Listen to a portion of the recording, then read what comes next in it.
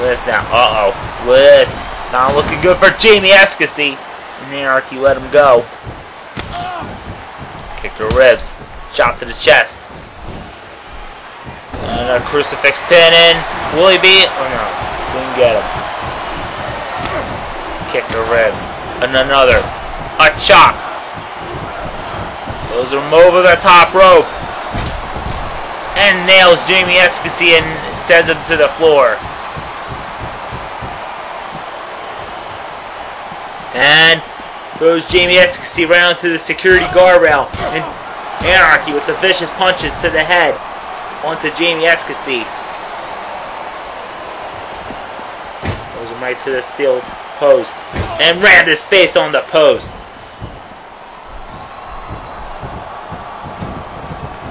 Oh, Jamie Eskasey. What's he gonna do here? Damaging the knee on Anarchy. Man, oh man, Anarchy's gotta be like screaming in pain. And a spine buster by Jamie Eskasey.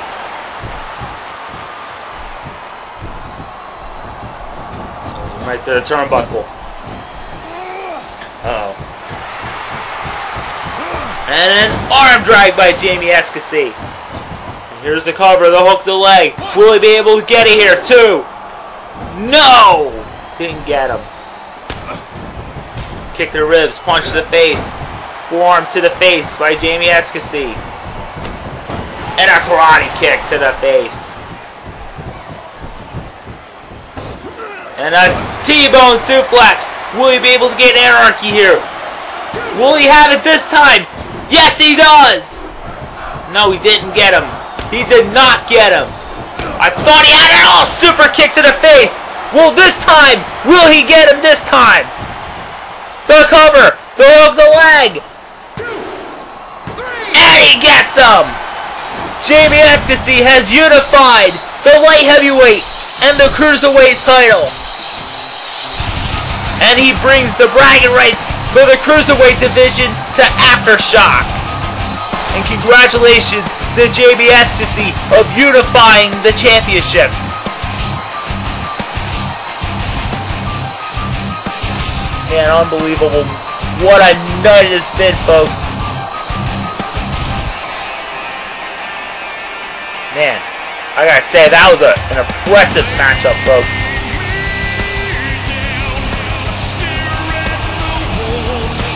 Wow, what a match!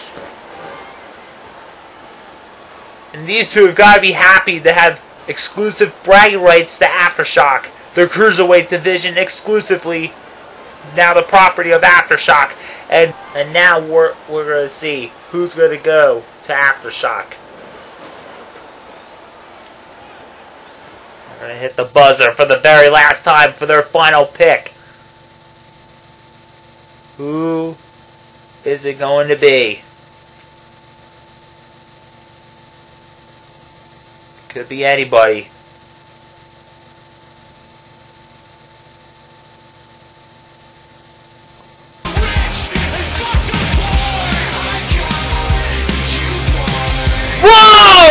Whoa! You gotta be kidding me! It's actually done! He is heading to Aftershock! Well, you can say goodbye to Aftershock because he is leaving Overdrive! The superstar Ashley Dunn has officially been drafted to Aftershock! The final pick! And a damn good, good pick! And he's a former heavyweight champion of the world two times. And also a former North American champion. Ashley Dunn will be heading to Aftershock.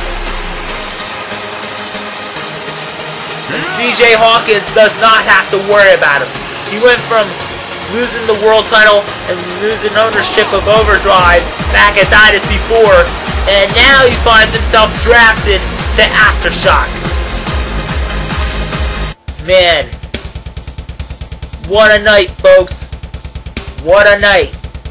And coming up next, our main event, Cypher from Aftershock will be set to take on the EWU's first round draft pick, Vincent. Vincent will compete for the very last time. But will it be forever in the future? We'll see. Next.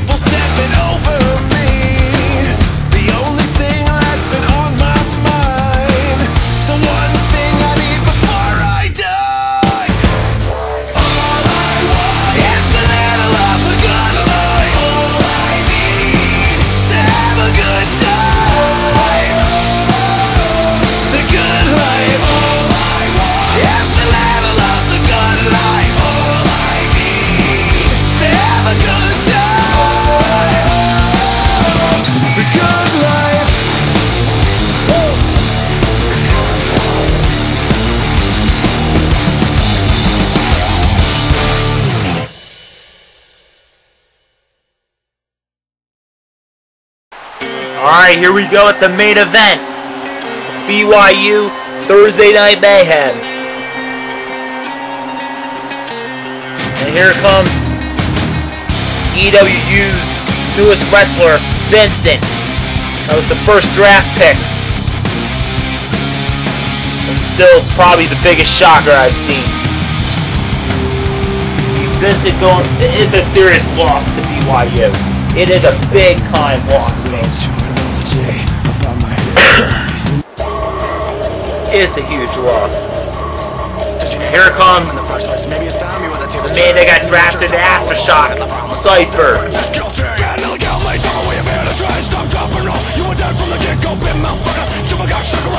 They're gonna have one more match against each other. I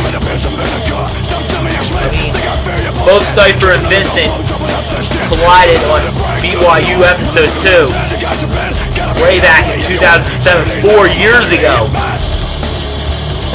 Cypher defeated Vincent, become the first ever world heavyweight champion. Yes, Vincent and Cypher want to see the first ever world heavyweight champion. What a way to go out in a bang with this matchup. Referee calls the bell, and here we go.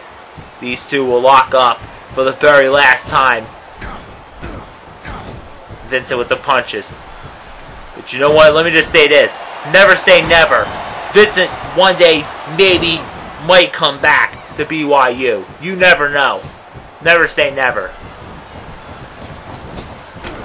Kick to the ribs. And a nice takedown by Vincent. Pick it up Cypher now. Kick to the ribs. And a nice Hurricane maneuver. Nice takedown by Vincent. And a kick to the back. Now pick it up Cypher now. Kick to the ribs. Oh, karate kicks the referee accidentally. And Cypher taking advantage of it. Shoulder blocks. And now vicious punches to the face by Cypher and making sure that Vincent pays the price.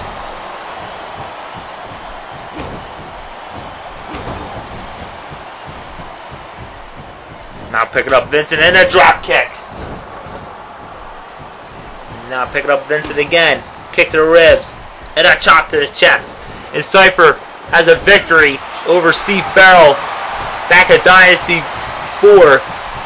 He made Steve Farrell say I quit. He forced him to say I quit. Farrell did not look good after Cypher suplexed Steve Farrell off the top of the ladder onto the two steel steps. I mean, Cypher is crazy. We all know that.